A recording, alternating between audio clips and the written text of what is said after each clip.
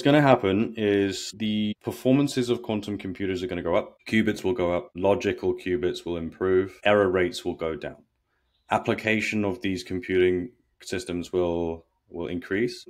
There'll be a high as to people finding out, you know, new information about, you know, drugs, about new algorithms, new trading situations, you name it. And then it'll become commercially available. And then we'll see Q day. Um, that is when quantum computers are used by nefarious individuals for illicit activity.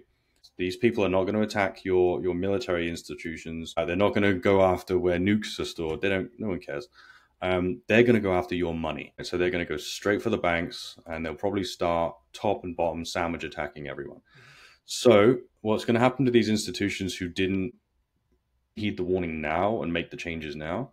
And put budget to these transformations now, or even just choose the wrong solution now, they are going to be scrambling for an, uh, a solution when they realize that the standard offerings, the uh, the copy paste code, the copy paste encryptions, um, have fallen because standardized solutions, standardized targets. If what these institutions do is go find what is being touted as a, a, you know the latest quantum safe standard encryption, and they they copy that and they wrap their systems in it.